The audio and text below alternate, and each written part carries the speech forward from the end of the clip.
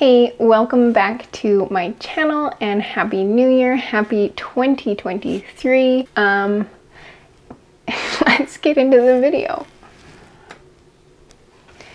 Advice that I would give myself this time last year in order to set better goals for the new year. It's a bit of a mouthful of a title, but let's get into it. So I love setting goals. I love setting New Year's goals. I love setting mid-year goals. I love setting goals in September. Any time of year, I love to set goals. I like getting out my notebook and my planner and writing down plans, writing down goals that sound really good on paper. I like the whole idea of goal setting, and I especially do love setting goals in January. I think this is a great time of year to set goals, but I don't love the disappointment and discouragement that comes with forgetting your goals two weeks after the new year starts. So, having tried to set goals, numerous times in the past, these are some of the things that I've learned, mostly in this past year, that I think will help make my goal setting better. So, this is the advice that I would give to myself in order to set better goals in the new year. My first piece of advice is to cut the fluff. I am so bad when it comes to this. I get so caught up in the excitement of setting goals that I tend to write down things that sound good on paper, um, but aren't necessarily meaningful to me. Or even worse than that, I will scroll through Pinterest and social media to get inspiration for goals that I want to set. Um, but I don't think that is the best way or the most successful way to go about setting goals. So, my advice to myself is to cut the fluff. Look at the goals you've written down and assess are these meaningful to me? Or are these things that just sound nice on paper? Are these things that I really want to achieve? Or things that mm, it would be nice if these came naturally to me, but they're not something I'm willing to invest the time, energy, and effort it takes to actually achieve them. So, for example, waking up at 5 a.m. That sounds great on paper, it looks pretty cool on social media, but is it something that I'm willing to commit to and do the work it takes in order to achieve that? Or is it something that just sounds nice? Maybe waking up earlier is a more realistic goal.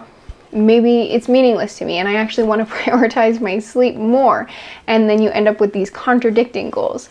Um, so I think it's important to look for things that you've written down simply because they sound good. And the advice I would give to myself is to take that list of goals that, that you've written and cut it in half. Get rid of 50% of what you've written down.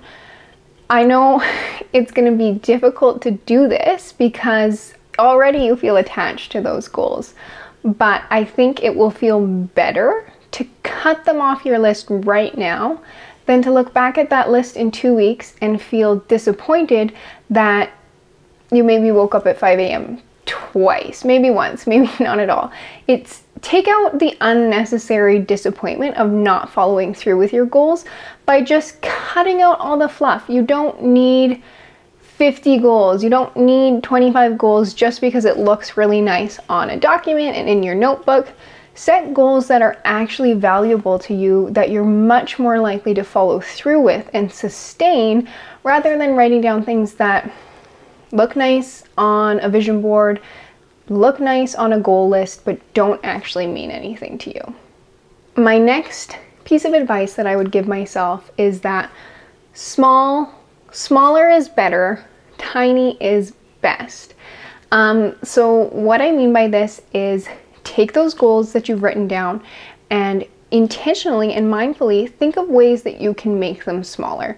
We often talk about this idea of SMART goals and we want to come up with specific things and actionable items and concrete goals. But I think it's really valuable, and I've talked about this a little bit before on my blog, um, the idea of these tiny habits. And I think the same thing can be applied to your goals. Look at what you're trying to achieve in any context and see if you can make it smaller and more achievable. Um, so, for example, the ways that this has worked for me in the past Number one, I've talked about. You're going on a diet, you're planning to be in this 500 calorie deficit, and you're gonna start tracking everything you eat. You haven't done, you've never tracked every, anything before, and you've never eaten in, in a deficit before. So, this is a huge goal to ask of yourself. So, for one, I think you can choose one or the other to begin with. I don't think you need to be tracking absolutely everything for the first time and putting yourself in a 500 calorie deficit. I think that's unrealistic. Um, so maybe the way to make this smaller might be okay, I'm not going to track everything. Maybe I'll track one meal a day. Or maybe I'm not going to track anything, but I'm going to be more mindful. And by that, I mean I'm going to make it a priority to eat three meals a day. I'm not going to worry about tracking them. I'm not going to worry about my macronutrients yet. I'm just going to get into the habit of eating consistently three meals a day and not eating nothing and then overeating at night. I've talked about this quite a bit before. Um, obviously, it's something meaningful to me and that I believe in. But on the other side of things, I've also talked about okay, so you have experience with tracking and you're feeling like you're ready to go on a diet, you have this goal to cut a few pounds of body fat, and you've established that now is a good time for you and that this is a healthy goal for you right now. Instead of going into that 500 calorie deficit and then struggling to sustain it for the necessary amount of time and then maintain that weight loss, make it smaller. Cut 200 calories. Start with 200 calories. See how that goes. After three or four weeks, maybe cut an additional 100 calories. Make it smaller. smaller is better. Smaller is more sustainable. I have learned this from my own experience. I know that it is tempting to go big and to go for these grand goals, especially in the new year. But trust me, and I'm speaking to myself, smaller is better. Um, it's just so much easier. When I finally, after I had finished university, I'd really not worked out at all in university. Once I got into the routine of working and being an adult, when I was finally able to get back into a consistent workout routine, I started with workouts that were only 20 minutes long it was very motivating to know that the workout was going to be over really quickly. It was easy to show up and easy to know that it was going to be done. And then I built from there, and I enjoy working out, um, but it still took me time to build that routine and build that consistency. So, starting with only a 20 minute workout made it much more sustainable for me. So, start smaller. Five days a week working out, okay, that's a great, amazing goal, maybe five days a week for 20 minutes. I do think doing that consistency, consistency throughout the week um, is important and will help you establish the habit, but make it smaller. Don't read for one hour. Don't read 10 pages. Read for five minutes. Read one page. If this is something that you haven't been doing whatsoever, start small. And if it's something you want to progress in, take a small step forward. If you're already reading a chapter a day, read a chapter plus five minutes. I don't know. Set a small step forward for yourself. Don't try to commit to these really big goals and then feel disappointed when you can't sustain those those changes and discouraged when you just quit and you give up altogether. My next piece of advice is that consistency moves mountain. Consistency is your new best friend. Um, this is something that I think I knew and we all know, but is sometimes hard to put into practice and sometimes difficult to believe in. So for me, um, where I really saw, where this was really validated for me when I started to build muscle and I really committed to building muscle. I felt like for the last five years, building muscle is really hard. It's impossible. Um, there's no real changes. I just had all these like discouraging thoughts about when it when it came to building muscle. Yet I had never actually committed consistently to building muscle. So within the last three or four months, I have been consistent. I have shown up consistently. I have eaten my calories. I have done my best to recover and I've gotten results and I've made progress. And that has been so motivating for me um, to feel like things actually change and things are actually possible.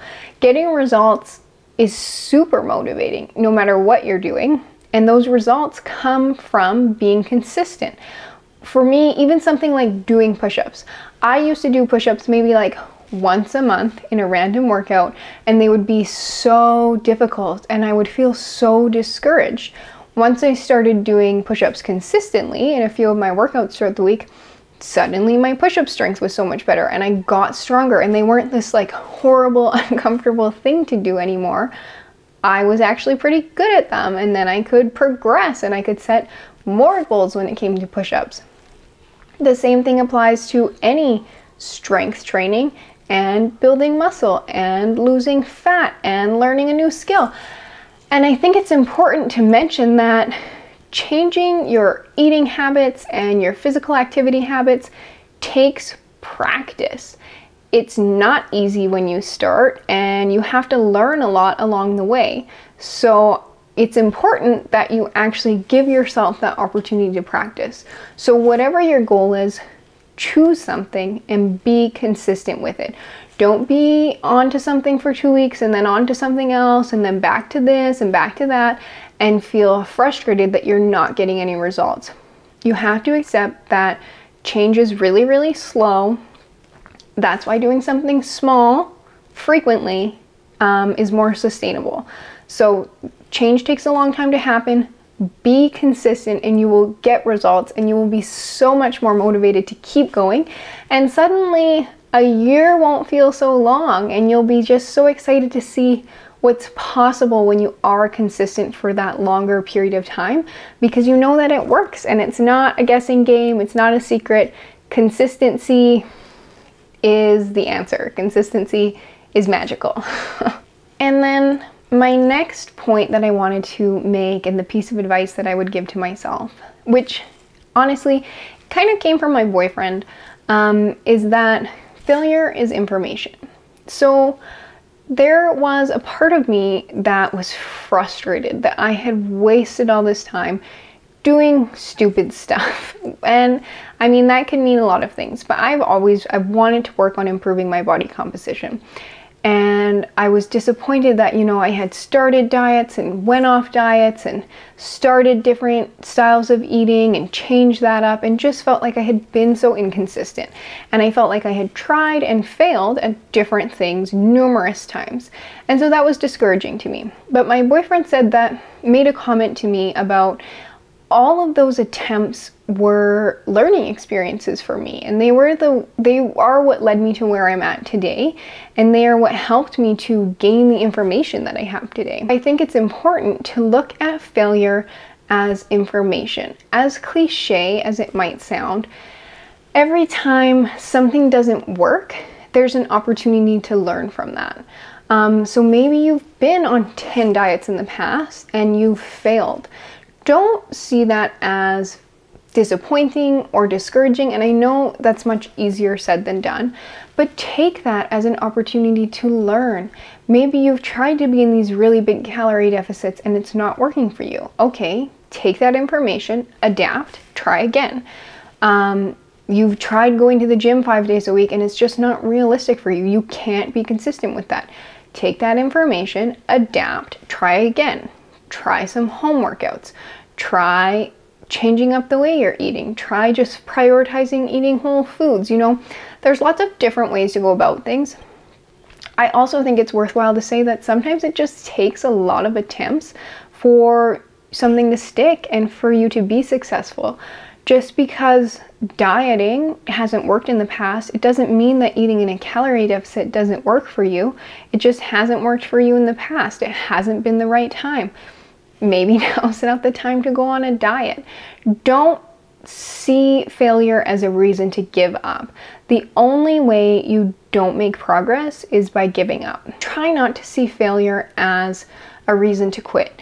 take those failures as opportunities to learn and do that. Learn from the experience. What didn't work? What did work? What can I do differently moving forward? How can I set myself up to be more successful next time? But also realize that I will continue to fail. Like, life is going to be full of failure, and that's okay. The skill is learning how to fail, how to understand what worked, what didn't work, and how to keep going, and not to let mistakes, failures, disappointments set you back and hold you back. Learn, adapt, move on. Keep going. That's been that's my motto. That was kind of my 2022 motto and I'm carrying it with me into 2023. Just keep going. You will continue to learn and grow as long as you keep going. Okay. The last piece of advice that I want to give to myself a year ago um, or to anybody else who can relate to what I was feeling, and as well as a lot of this advice continues to apply to me today, um, is to start building muscle. I give this in right now, I would give this advice to anyone. Um, obviously, you can discern if this is right for you right now. Um, maybe, I don't know, maybe your situation it's not right for you. But for myself, this time last year, I was training for a half marathon, um, but I had really never committed to building muscle. I had flip flopped a lot between working on strength, but I would say 80% of the time I was trying to diet and lose fat for no real reason. I just always felt like I needed to lose five or 10 more pounds, and that would help me get the physique that I wanted because I do have physique goals for myself. Um, but I always went about pursuing that through dieting. Despite the fact that there is a lot of information on social media now um, and just kind of in pop culture encouraging resistance training and muscle growth for women, but I had never taken the steps to commit to that. The best I had ever done was try to do kind of a body recomposition where I was eating in a deficit, but still strength training and resistance training, which is a great way to maintain the existing muscle. But the physiques that I look at and that I wanted to, that I aspire to, and wanted to try to achieve with my own body have a ton of muscle mass. I think muscle looks incredible on women, and that's something that I want to achieve for myself. But it took me like nine months into 2022 before I actually committed to going to the gym, training hard, training to build muscle, not changing up my program too frequently, and eating to support the muscle mass that I was trying to build when I finally made that decision, I started to build muscle and I started to see results. But it took me, in my opinion, way too long. I wish I would have started doing this years ago um, because my results would be greater by now. But years ago was a great time to start. Today is also a great time to start. So if you are like me and you want to change your physique and you're not entirely sure how to go about getting there, you understand the necessity of fat loss and you understand the role of muscle, but you're kind of questioning whether, okay, do I cut or do I bulk first? Bulk first. I want to encourage you to commit to building muscle. I also want to say if you want to have health and fitness goals that don't involve the number on the scale or trying to get smaller or trying to lose fat and maybe you just want to improve your health. Start building muscle. Make building muscle one of your goals. I think it is so valuable. It changes the experience you have in the gym. It changes the relationship you have with food. And for me, it makes each workout more enjoyable and more valuable. I'm going into the gym and I'm focused on making progress every single day. Resistance training is more enjoyable when you're not doing it as a means for fat loss. Going to the gym is more enjoyable when you're not eating in a calorie deficit and expecting yourself to then increase your activity as well. And your body will change in ways you want it to without having to be on a diet.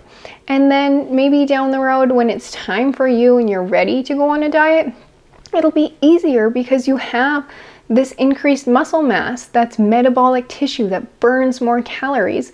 And your physique, when you actually lose weight, will look different and it will be more of what, if you're like me, you're aiming for. That toned look, that definition comes from having muscle mass, and muscle mass takes time and commitment to build.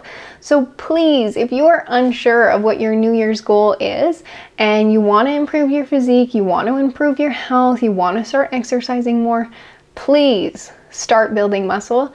You will thank yourself in a year from now when you have committed to this year to building that muscle mass and it will it's just it's wonderful. I am so much enjoying the process. I'm so excited to see what will come from this moving forward. And I just, I can't recommend it enough. And I wish that I would have started building muscle this time last year. Um, but I'm still grateful to myself for starting to build muscle when I did. It's January 2nd of 2023. I have pretty much set my goals for the new year. However, I also know that those goals will adapt throughout the year. Um, life happens, things change, I get different inspiration at different times. But I wanted to make this video as a way of helping you um, if you're watching this and you're still thinking about your New Year's goals, or maybe just give you something to reflect on um, and look back at what goals you have set for yourself and maybe make a few tweaks. I'm really speaking to anyone who is like me as well as I'm speaking to myself right now just to help set myself up for success when it comes to setting New Year's resolutions and make them a positive experience and not turn them into something that you eventually start avoiding because they end up being discouraging. So I hope that this information is helpful to you. Um, I would love to hear any other advice that you would give to your former self when it comes to setting goals. What advice do you use when you're setting goals right now? Um, and please share with me what your New Year's resolutions are if you don't, if you feel comfortable doing so in the comments below. Um, I might make a video, a separate video talking about my specific goals for the year. We'll see. But yeah, I just wanted to share kind of my thoughts when it comes to setting goals for the new year or for any time of year and hope that it would be valuable to someone who's watching this. So thank you so much for watching. I hope to be sharing more videos um, in the new year. Please subscribe if you want to see more from me. I will have this written out as a blog post as well, so you can find that on my website, on my blog. Um, and I also have a little post about this on my Instagram if you want just a few quick like Coles notes um, covering kind of what I talked about in this video. So please subscribe if you want to follow kind of my own health and fitness journey and I just share kind of health and fitness related content. I'm just having fun. I don't know what my niche is. I'm just figuring things out. Um, but I would really love to connect with anybody who's watching this, share with me what your ambitions are for the new year, um, why you love health and fitness, what brought you to this channel. I'd love to start connecting with people more here. Um, but yeah, thank you so much for watching. I wish you all the best in the new year and I hope you can go crush the goals that you've set from this video. Um, I'll see you in the next one. Bye.